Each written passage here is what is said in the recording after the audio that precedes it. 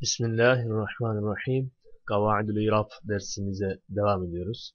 El meseletur rabi'atu dördüncü mesele nedir? El cümelü cümlelerdir. Cümletün cümel. Cümel cemi mükesser. El cümelül haberiyyetu haberi cümlelerdir. Tabi haberi cümle denirken müpteda haber cümlesi kastedilmemiştir. Buna göre fiili el fi'lül ihbari, el fi'lül inşai olarak ikiye ayırmak mümkündür. İhbari fiiller müsbet ve menfi olarak ikiye ayrılabilir. Müsbet ihbari fiiller nelerdir? Mazidir ve muzaridir. Bir de menfi olanı var. Bu da yine fiili muzari cahdi mutlak, fiili muzari cahdi müstarak, fiil muzari nefi hal, fiil muzari nefi istikbal, fiil muzari tekip nefi istikbal olarak ayrılmaktadır. Yani orada kastedilen şey budur. İnşai cümle olmamasıdır. Buna göre cümleyi veya fiili diyelim ikiye ayırabiliriz. İnşai ve ihbari veya ihbari yerine haberi diyebiliriz. Haberi cümle yani haberi fiil kısımlarını şu an zaten görmektesiniz kastedilen fiili mazi, fiili muzari ve bunların diğer türevleri, olumsuz halleridir. Yani şu an görmekte olduğunuz inşai kısmının olmamasıdır. İnşai kısmı el fi'lu talebi, talep yani bir istek bildiren ve el fi'lu gayru talebi, talep bildirmeyen fiil kısımlarına ayrılmaktadır. Talep işte emirdir, nehidir, emri gayiptir, nehi gayiptir, emri hazırdır, nehi hazırdır. Demek ki talebi ikiye ayırdık. Emir ve nehi olarak. Emirin de iki kısmı var. Nehinin de iki kısmı var. Aynı şekilde talep ifade etmeyen inşa fiili ikiye ayrılmaktadır. Bu da tencüp evvel, tencüp sani. Buna göre diyebiliriz ki el cümelül haberiyetü haberi cümleler. Bundan kasıt neymiş? İnşai olmayan. Yani mazi, muzari olan kastedilen bu. Elleti öyle haberi cümleler ki lem yesbik geçmedi. Ha onu hangi onu yani haberi cümleyi geçmedi. Ha zamir oraya gidiyor. Ne geçmedi? Ma o şey ki yatlubu talep ediyor. Ha o haberi cümleyi talep eden bir şey geçmedi. Hangi yönden? Lüzumen, lüzumluluk yönünden. Yani vücubi olarak, mecburi olarak geçmedi. Buradaki lüzumda temyiz olmaktadır. Örnek olarak müpteda haber gibi bir yerde müpteda geçse haberi kendisine talep eder. Mecburidir yani müpteda varsa haber olacak. İsim cümlesinden bahsediyoruz. Bunun gibi bir şey olmayacak diyor. İn şayet vakaet vaki olursa ne hiye o hangi o bu tarz bir cümle vaki olursa neden sonra vaki olursa baden nekirati nekrelerden sonra vaki olursa öyle nekre ki el mahvati nekreyi mahza Mahza halis demek. Esasen yani duru, pak, halis, orijinal nekre. Marifeliğe doğru bir yola çıkmamış. Marif olma ihtimali yüzde sıfır. Marifelik yolcusu değil. Tamamıyla nekre. Sadece nekre. F bu durumda ne olur o cümle? Sıfatun sıfat olur. Ev demiş. Buradaki evdeki e, baştaki Elif'i siliyoruz. Elif yok sadece vav var. Ve ba'del ma'arifi eğer marifeden sonra böyle bir cümle gelirse yani cümleyi haberiye gelirse öyle cümleyi haberiye ki nasıl o? Kendisini lüzumen talep edecek bir şey kendisinden önce gelmemiş olacak. Bu tarz bir haber cümlesi ba'del ma'arifi marifelerden sonra gelirse ama öyle marifeler ki el mahbati sadece marife nekre olarak da düşünülemiyor mana yönünden ne, e, nekridir diye de düşünülemez. Öyle bir marifeden bahsediyoruz. Bu durumda fe işte bu tarz bir marifeden sonra gelen cümle haber cümlesi nedir? Ehvalün hallerdir. Yani haldir. Veyahut da ba'de gayril mahvati minhuma. Minhuma. Huma zamir hem marife hem nekreye gidiyor. Marife olsun, nekre olsun. Şayet bunlar gayri mahza ise yani mahza olmayan marife ve nekreden sonra gelirse böyle bir cümle ne olur? Fe bu durumda muhtemiletün ihtimallidir lehuma her ikisine de. Yani hem marife e, hem hal olmaya Nerede geçti hal? Hem hal olmaya hem de sıfat olmaya ihtimallidir. Buna göre anlatılan şey ne oldu? Bunu dilerseniz bir de e, farklı bir kitaptan görelim. Kavaidü Selasun diye bir kitap var. İkinci kural olarak şöyle yazmıştır. El cümleli cümleler ve zurufu zaflar meta her ne zaman vakat vaki olursa yani yer alırsa yer alırlarsa hem zaf cümleleri hem zaflar hem de cümleler her ne zaman vaki olursa yer alırsa ba'den nekirati nekrelerden sonra yer alırsa kânet sıfatin bilin ki o cümle de zarf da nedir? Sıfattır. Ba'del ma'arifi ev ba'de el ma'arifi ve marifelerden sonra gelirse kânet olur, ehvalen hal olur o cümlelerde, zarflarda. Nahu ne gibi? Merartu merrafitu faildir. Ben uğradım bir racülin adamın birine bir racülin. Racül kelimesi marife mi nekre mi? Nekre. Ba'den nekirati demiştik ne olur? Kânet sıfatı. Öyleyse racülün kelimesinden sonraki cümle ne olacak? Sıfat cümlesi. Gâme fiil, ebu fail olur. Gâme ebuhu cümle olarak nedir? Sıfat cümlesidir. Neyin sıfatı? Racül kelimesi. Niye? Çünkü racül nekredir. Nekreden sonra gelen cümlelerde sıfat olur dedik. Burada öyle yazıyor. Kânet sıfatı. E veyahut da Ebuhu gaimun. Ebuhu gaimun da olur. İlla fiil cümlesi olması gerekmez yani. Ebuhu'nun babası nedir? Ebu müpteda kaim haberdir burada. Anlatılmak istenen cümleler dedik biz. Fiil veya isim demedik. Burada fiil cümlesini örnek verdi. Sıfattır. Ebuhu gaimun. Burada isim cümlesi örnek verildi. Bu da sıfattır. E veyahut da fiddari. Fiddar cümlesi de ne oldu şimdi? Zarf oldu. Bu da yine nedir? Ee, sıfattır. Değişen bir şey yok. Ev veyahut da emameke. Evin önündeydi. Aslında emam kelimesi zarftır. Yani emameke burada tam olarak zarf. Şii harfice tabi zarf manası var. Takdiruhu demiş. Takdirini vermiş. Şimdi onu bu şekilde anlattık kısaca. Şimdi diğer bir örnek kısmına geçtik ve merartu ben uğradım uğradım bir Zeyd'in Zeyd'e. Zeyd özel isim bir insan adı. Öyleyse nedir? Marifedir. Bu durumda ardından gelen yazhaku gülüyor kim? Hüve o. Burası da bir fiil cümlesi. Ev veyahut da yazhaku ebuhu. Şimdi burada Zeyd marifedir ya. Ne demişti? Marifeden sonra gelen hal olur demişti. Bu durumda Zeyd'den sonra yazhaku yani Zeyd marife, marifeden sonra cümle gelmiştir. Bu durumda yazhaku failiyle birlikte cümle olarak ne olur? Hal cümlesi olur.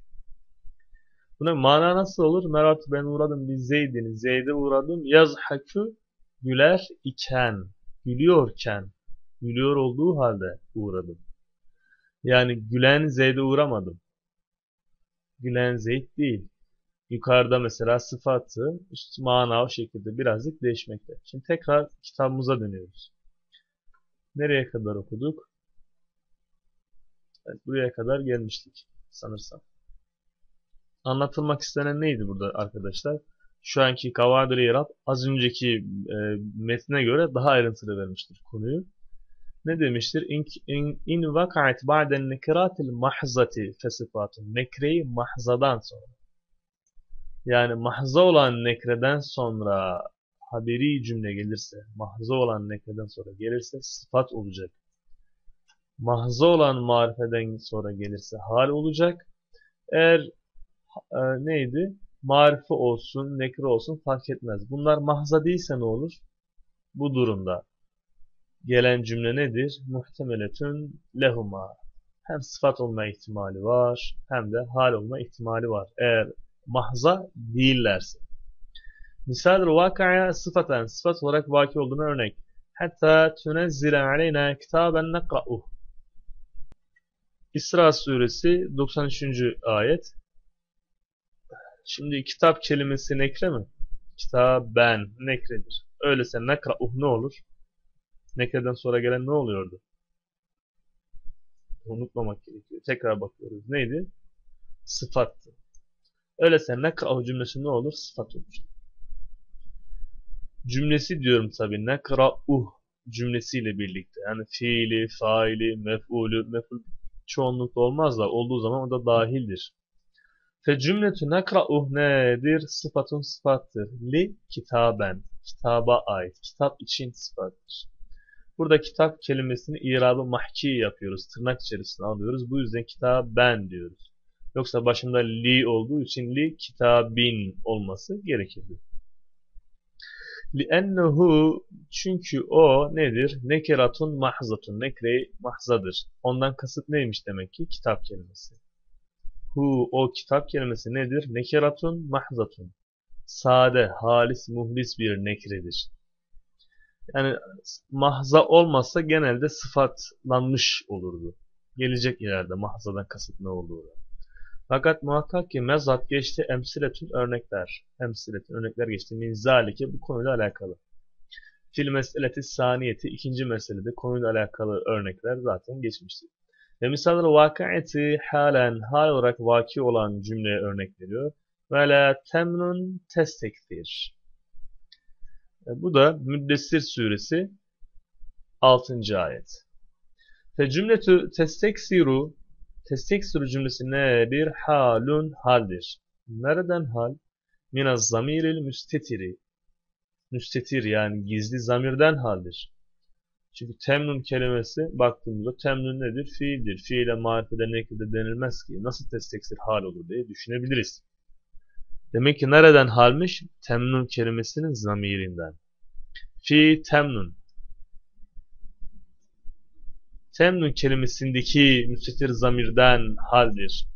Öyle zamir ki el mukadderi takdir edilmiş Ne olarak? Bir ente, ente olarak takdir edilmiş. Yani açılımı da entedir o zamir nedir? Entedir. لِأَنَّ zamaira nitekim zamirler küllü, külleha onların tamamı nedir? Ma'arifu marifedir. Ma'rifu dedi tabi. Ma'rifun diyemedi. Çünkü gayrimustariftir bu kelime. Bel aksine yani bilakis hiye o aslında buradaki bele aksine diyemeyiz. Ne deriz? Bel hiye hatta o marifeler pardon o e, nedir? Zamirler nedir? A'raful ma'arifi. A'raf ismi taftil. Ma'arif de yine cemi olarak gelmiş. Cemi keser. Ma'arif marifeler. A'raf en marife. Öyleyse marifelerin marifesi. Marifelerin en marife olanıdır. Hiye o zamirler. Bele hatta. Hatta o zamirler A'raful marif marifeler arasında en marife olanıdır. Marifenin kısımları var elbette. En marife hangisidir? Zamirlerdir. Emsalül muhtemileti lil vecheyni iki vechhe muhtemil yani ihtimalli olan cümlenin misali. İki vecihten kasıt neydi? Bir cümle gelecek ki bunu halde yapsan olur, sıfatla yapsan olur. Neden sonra gelen bir cümle bu? Ba'den nekirati. Nekireden sonra gelip iki vecihe yani hem sıfat olmaya hem hal olmaya ihtimali olan cümlenin örneği. Nahvu örnek nedir? Ne gibidir? Merartu ben uğradım. Merrafil tufay. Kime uğradım? Bir raculin. Adamın birine uğradım. Öyle adam ki salihin. Salih iyi demekti. İyi adama, iyi bir adama uğradım. Ardından yusalli gelmiştir. Şimdi yusalli namaz kılmak. Şu anlık mastar manası vereyim. Namaz kılmak manasına gelir. Şimdi bunu sıfat sayacaksak farklı bir manaya yani tam ayrıntılı bir manaya çekmek gerekir. Hal sayacaksak yine ayrıntılı ama farklı bir manaya çekmek gerekir. Bir racülün bir adama uğradım. Öyle adam ki salihin iyi. İyi bir adama uğradım dediğimizde racül kelimesi nedir? Mevsuf elbette ve nekredir. Salih kelimesi de nekredir ve racül kelimesinin birinci sıfatıdır. Racül kelimesi nekredir. Ne demiştik? Nekreden sonra gelen sıfat olur demiştik. Yusalli nekreden sonra gelmiş. Racülden sonra. Bu yüzden yusalli'yi sıfat sayabiliriz. Çünkü nekreden sonra gelmiştir. Öyleyse ben namaz kılan iyi bir adama uğradım diyebiliriz. Aynı şekilde yusalli kelimesini hal de sayabiliriz. Niye? Çünkü racül kelimesi artık mahza değil ki salih kelimesiyle sıfatlanmıştır sıfatlandığından ötürü artık nekre-i mahza yani hem mahza hem nekre o iki şartı bir tanesi yani mahza olma özelliği kaybedilmiştir. Buna binaen yusalli halde sayabiliriz. Öyleyse namaz kılarken iyi bir adama uğradım. Yani iyi bir adama namaz kılar iken uğradım. Bu şekilde mana verebiliriz. Hal sayabiliriz. Şimdi racül nekredir ama salih ile ne olmuştur? Sıfatlanmıştır. Sıfatlandığı zaman mahza özelliğini kaybetmiştir. Yani birazcık marifeli meyil etmiştir. Çünkü şöyle düşünelim. Adam dediğimiz zaman dünyada yani buradaki adamdan kasıt erkek işte. Erkeklerden bir erkek. Dediğimizde Türkiye'de örnek veriyorum 30 milyon insan vardır. Ama iyi bir adam dediğimiz zaman ne olmuştur? Mana daraltılmıştır. Artık 30 milyon yani erkeklerin tamamı iyidir denilemez. İlla ki mana daralacak. Yani 30 milyondan belki 1000 kişiye düşecek. Belki 10 bin kişiye düşecek. Her neyse. Mana daraldığından biraz daha belirginleşti yani. Tamamıyla belli değil. Hala kim kastedildiği belli değil. Ama adamın biri diye buna mana verirken salih eklediğimiz zaman iyi bir adam demiş oluyoruz. Artık mana daralıyor. Yani ne gibi? Pazara gittim bir kilo elma aldım. Nasıl bir elma? Belirsiz. Çok belirsizlik var. Ama çürük elma dediğimiz zaman elmanın bir özelliği bildirildiğinden artık elmaya göre çürük elma nedir? Daha belirgindir. Yani kısmen mana daralmış oluyor. Buna bir sıfat daha getirsek daha da daralır. Mesela alimun, abidun desek. Alimun, alim bir adama uğradım. Abidun işte ibadet edici, zahidun zahid. Say say say ne kadar sıfat sayarsak e, bu o kadar marifeliğe doğru kaymış olur. O kadar belirginleşir.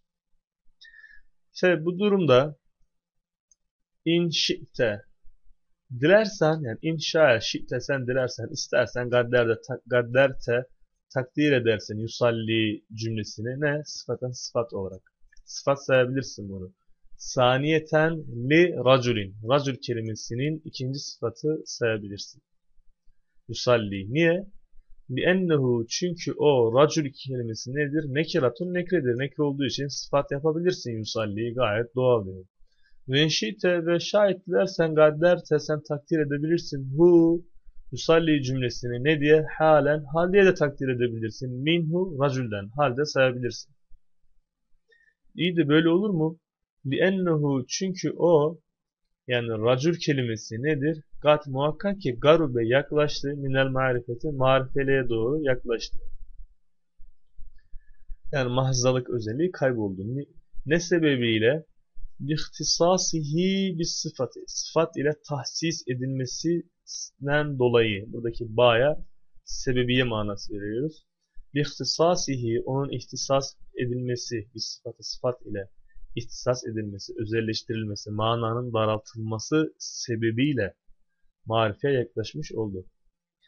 Burada ne oldu? İki, vecihi, iki vecihten bahsetti ama nekreden sonra gelerek. Şimdi ve misalül muhtemileti lehuma ba'del marifeti. Ve misalül muhtemileti ihtimalli bir cümlenin örneği yine. Lehuma o ikisi için. Yani hem marife olabiliyor, e, hem sıfat olabiliyor, hem hal olabiliyor.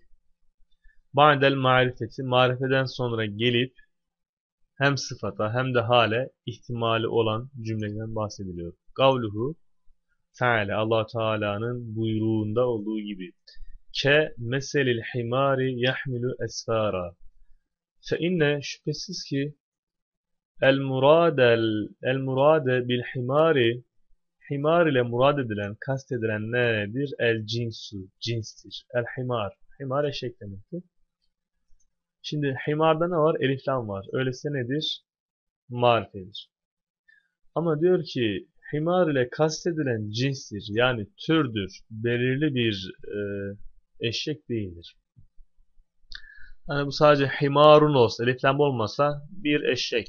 Herhangi bir eşek denilir. Ama el var. O zaman elif lam takısı olduğundan marife oldu. Ama buradaki elif lam takısı ne içindir? Cins içindir. O yüzden eşek türü, eşek cinsi diye mana verilmesi gerekir. E, eşek türü denildiği zaman da dünyadaki tüm eşekler kastedilmiş olur. Dolayısıyla mana bakımından nedir bu? Nekredir. Çünkü tür kastedilmiştir elif lam vasıtasıyla. Ama öte yandan lafzen de nedir bu? Yani mana bakımından nekir anlaşıldı. Çünkü tür kastedildi. Tüm eşekler dahil oldu. Ama mana bakımından nedir? Pardon lafız bakımından nedir? Eliflam dahil olduğu için lafzen marifedir. Eliflamlı kelimeler marife sayılır. Ve düt ta'rifi ve marifelik sahibidir. El cins kelimesi. Çünkü cinsiyi yani cinsiyet ifade eden eliflam ile marifelik kazanmıştır. E, yak rubu minen nekirati. Bu durumda da nekreye yakınlaşmıştır. Cinsiyet eliflam aldığı için nekreye yaklaşmıştır. Çünkü cinsiyet dediğimiz şey bir türdür. Dünyadaki tüm eşekler ona dahil olur. Yani buna bir örnek verelim. Asıl suresi ve asr innel insane insan değil mi orada? İnnel insane. El insan. Eliflamlı yazılır o ayete bakarsak. Eliflamlıdır. Yani marifedir. Ama el insane derken hangi insan? Belirli mi bu? Mana yönünden. Mana yönünden belirsiz. Çünkü oradaki eliflam cinsiye içindir. Tüm insanlar kastedilmiştir. Dolayısıyla mana bakımından ne olur? Nekre olur. Ama yazı bakımından eliflamı var mı? Var. Öyleyse yazı bakımından marifedir. Demek ki yazı bakımından farklı, mana bakımından farklı marifelik ve nekrelik değerlendirmeleri vardır. Burada tabi himar üzerindeki eliflamda bu kadar duruluyor. Hep himar üzerinde duruluyor. Yani bunun sebebi var elbette. Bunun sebebi kendisinden sonra gelenle alakalı. El himar, marife hem marife olarak değerlendirilebiliyor hem nekre olarak değerlendirilebiliyor. Bu durumda ardından gelen yehmülü esfara cümlesi hem e, ne olabilir? Hem hal cümlesi hem sıfat cümlesi olabilir. Konu bu yani. Evet. Yakırbu minen nekirati nekreye yaklaşmıştır. Ve bu durumda tahtemilül cümletu min gavri teala cümlenin ihtimali olur min gavri teala Allah Teala'nın şu buyruğundaki yahmül esfara kısmı vecheyni iki kısma tahtemilü ihtimalli olur. İki kısım.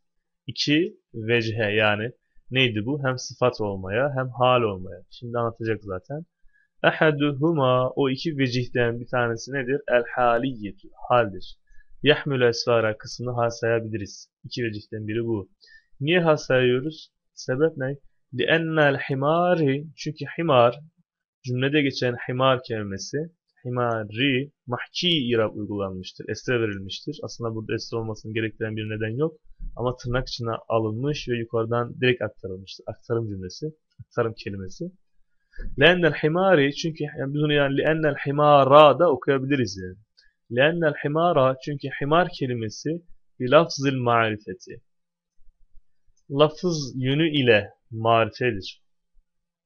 Bu yüzden kendisinden sonra gelen yahmül esvara cümlesini hal sayabiliriz. Kur'an neydi? Marifeden sonra gelen cümle haldir. Bu kelime de madem ki elif lam ile marife öyleyse hal sayabiliriz diyor. Ve sani ikinci vecih es-sıfatu sıfat olarak saymaktır. لِأَنَّهُ Çünkü el-himar kelimesi ne gibidir? Ken nekirati nekre gibidir. Hangi konuda? Fil mana, mana konusunda. Ortaya çıkan sonuç anlaşıldı diye düşünüyorum. Yani olay nerede bitmiş? Önce bulalım bir. Evet. Kemetelin himari yahmül esfara. El himar kelimesi eliflamlıdır. Dolayısıyla marifedir. Bunun farkındayız. Madem ki marifedir. Kur'an neydi? Marifeden sonra gelen cümle haldir demiştik. Bu yüzden yahmül esfara'yı hal sayabiliriz. Öte yandan ikinci veci eliflamlı olsa da himar kelimesi mana bakımından nekredir. O zaman yahmülü esfarayı sıfat sayabiliriz. Öyle bir durum söz konusu. Böylece videomuzun sonuna gelmiş olduk. Diğer konuya bakıyoruz. El babu sani geliyor. Fil car vel mecrur. Artık önümüz konu car mecrurdan devam ederiz diye düşünüyoruz. İnşallah.